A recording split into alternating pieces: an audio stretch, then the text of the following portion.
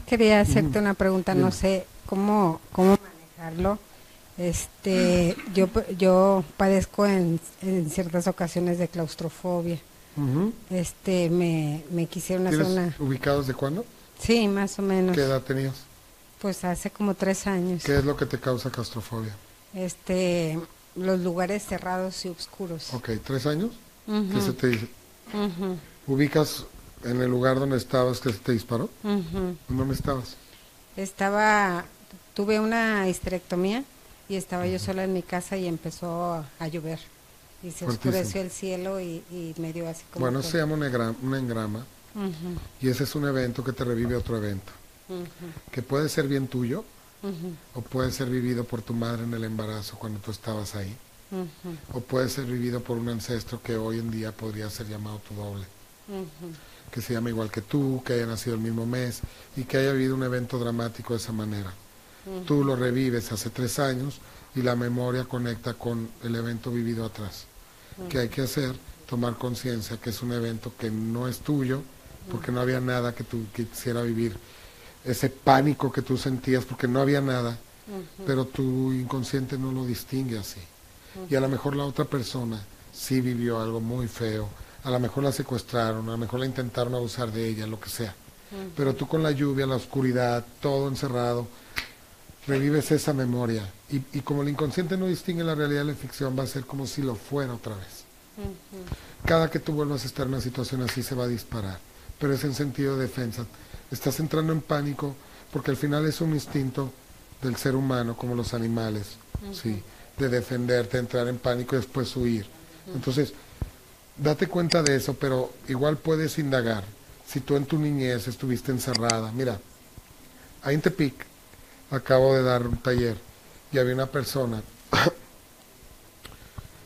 que empezó a tener mucho miedo a que lo dejaran solo. Fíjate bien lo que te voy a decir. Y yo le dije desde cuándo y me dijo, yo estaba, recuerdo un día parado, es para que más o menos busques info. Estaba yo parado en una, sentado en una banqueta de la escuela. ¿Ok? Y pues mi papá no, me no llegaba se tardaba y no llegaba por mí, y yo entraba como en miedo, con tristeza. Y dije, bueno, para que exista eso, ¿qué estabas pensando? ¿Que te iba a dejar abandonado? Sí, que me dejara solo ahí por mucho tiempo. Ok. Dije, pues para que tú tengas miedo de eso, vamos buscando. Si tú antes de ahí te habían dejado afuera en una banqueta, ¿no? Fue la primera vez que yo me vi en una banqueta así. Bueno, pues para que tú sientas ese miedo, pánico, debe de haber entonces tu madre sentada en una banqueta embarazada de ti o de niña. Entonces él me platica que lo platico porque no lo conocen y porque no saben su nombre. Obviamente si no, no contaría la historia. Soy muy respetuoso eso. Pero bueno, puede servir como fines de ayuda. Me dice, no manches. Y empieza a llorar porque empezó a recordar que su madre le había contado que su abuela dejaba a su mamá afuera en una banqueta y durante horas y ella se metía a su casa. Obviamente ella sufría mucho. Entonces lo que te digo es que este evento con el padre que no llegaba lo conectó con la emoción de la madre. Debe de haber muchísimos más eventos donde la gente no llega. Ahorita para que estás diciendo esto, me viene a la mente que mi mamá decía que su abuela le había caído un rayo a un árbol y se, se murió. O sea... Bueno, ahí viene tu pánico cuando empieza a llover, porque te va a caer un rayo. Lo que me quiere hacer sentido a mí es que tú eres doble de tu abuela. Igual nació el mismo mes, o por nacimiento, o por este por, eh, eh, por fecha de nacimiento de, ¿cómo se llama? De...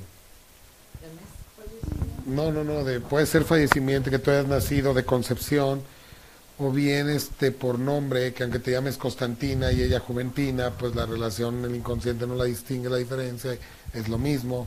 A lo mejor ella es Josefina y tú Josefa, no lo sé, debe de haber algo que la diga, a lo mejor ella es primer hija, tú fuiste primer hija, o ella es tercera hija, tú fuiste tercera hija. A lo mejor ella se dedicaba a, coser y tú también. Hay muchas cosas que te pueden hacer doble de tu abuela. Y tu inconsciente creer que tú estás, de hecho puede hacerte revivir mismos temas que tu abuela. Pero si para ella no es importante que llueva, si para ella no es importante que caigan rayos, y para ti sí, es obvio que hubo algo con lluvia, con rayos en el pasado, que tú traes esa información aquí.